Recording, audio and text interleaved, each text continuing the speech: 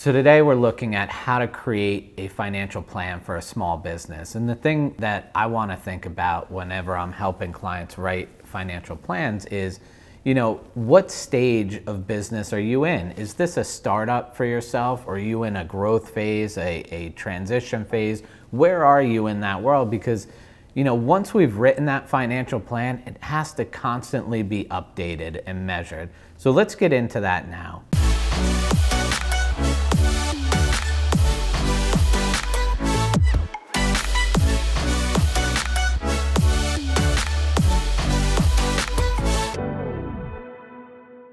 So the first thing we want to do is establish what are the goals of that business, right? No different than writing a plan for yourself. What are your goals and objectives? What are the goals and objectives of this business? What's the purpose behind it? What's driving this business?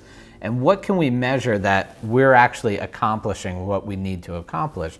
So let's establish those goals and figure out those metrics, those key performance indicators that we can uh, write down and track and measure because in each different stage of our business, that's going to evolve, right? We might start out with one purpose and then we expand into a new market or we expand into a different area of the business and we constantly keep growing and evolving. So we need to figure out what is the plan for the business? What are we doing with this company? Once we understand the financial goals of the company and the plan that the company has and we have those key performance indicators, well, who are the people that are going to be responsible for acting out all of these things? Who's going to be keeping you accountable or keeping the business accountable, keeping the key people accountable in their roles?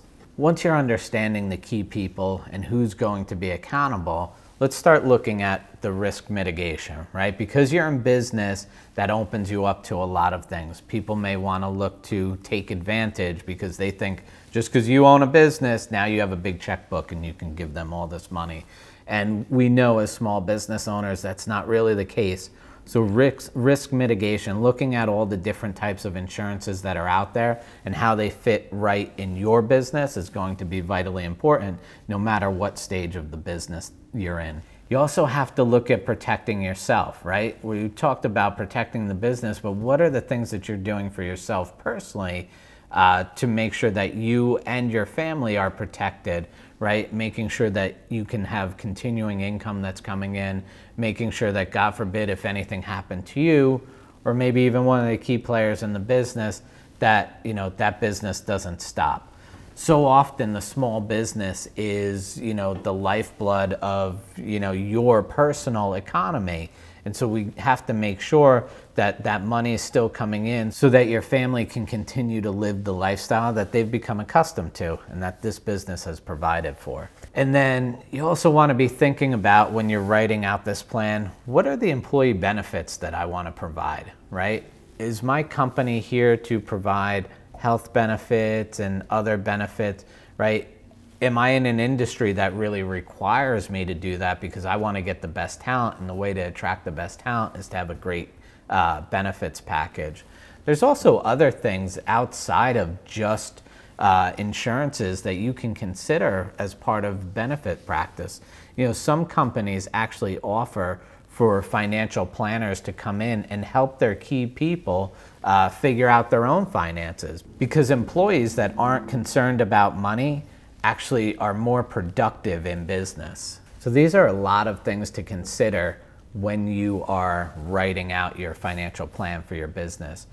But you also want to consider, hey, where am I in this growth phase, right? You talked about the, a startup phase, but there's also a growth phase, right? So we start our business, we're just kind of scraping along, and now we've got this business that's creating some revenue, and now we're growing and we're expanding and we're doing more of that. And once we've done that for a while, we might get to a point where we may plateau or something like that happens. Now we're transitioning over into a more mature phase. When you're in that mature phase of business, well, now you're thinking about, okay, what do I do to maintain? I'm not looking to grow too much, but I want to continue on with this because this business is doing well. It's uh, you know standing the test of time. It's creating incomes, and it's really helping to grow the overall economy, not just my own. And then the last part, that last phase, there is the transition stage of business, right? So think about that. Are you at the point in your life where you are getting ready to wind down? And this is a tough thing for business owners to even think about, right? Your business that you created oftentimes becomes your identity, right? It's what you associate with the most. It's like having another child. And so, how do you just walk away from that? That's something that a lot of business owners struggle with, and there's a whole area around succession planning and transition planning. And so, you have to start to think about well, who's this business going to go to? As a small business, is this going to a family? Is this going to be turned over to my employees? Is there a key management team? What are the incomes that I need to have continue on for myself or for my family? What are the things that I want to have happen with this business? Because let's be honest, at some point, you are going to have to step away, right? Either voluntarily or involuntarily. So why not do it on your own terms and on your own choice and have this plan put in place? What's up, everybody? It's Rob Gill with the Money Minute. And the question is how to create a financial plan in a small business. Well, the first thing you need to do is get a philosophy. The second thing you need to do is have goals and objectives. And the third thing you need to do is make sure your accountant speaks to your estate attorney, your fiduciary, as well as your insurance agent. And once you do that, you can create a phenomenal plan. Back to Ed. In each stage of business, we have to go back and we have to look at our plan, right? We have to constantly measure and monitor and evaluate. It's not just about the KPIs, right? The KPIs drive your revenue. But on top of that, have I changed my employee benefits package? Am I keeping up with the times? Do I have the right management structure in place and do I have the right retention packages to keep those management people happy and to keep my business flourishing and growing? Have I reviewed my insurances and have I been looking at, you know, now I have so much more growth, there's other areas that I didn't think about before that need protecting. We live in a world that is constantly evolving and changing, and new things are coming up all the time that we have to end up protecting ourselves against. So, constantly reviewing this plan with an advisor is going to be so critical and helpful for you. On your team, there may be multiple advisors. You'll have your accountant, you know, and you're going to review every year with your accountant. You're going to have your attorney in there, and you might not review with them every year, but you also have to have your, your insurance people and your financial advisor and everybody. What you want to do is get them on the same page. Have them all talking to each other and have them coordinating in a fashion that they're reaching your best expectations, your best goals, right?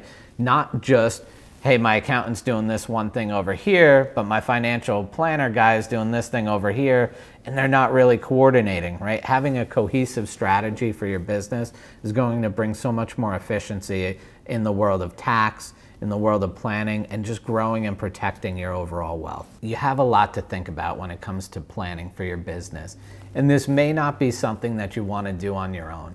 If you're looking to talk with one of the team members, click on the link below. It says meet with the team. One of our team members will reach out to you and we can help walk you through some business planning. If you're liking this content uh, and you want to hear more of it, there's a subscribe button. We're pushing out every single day. And again, if you like this content, please like this content.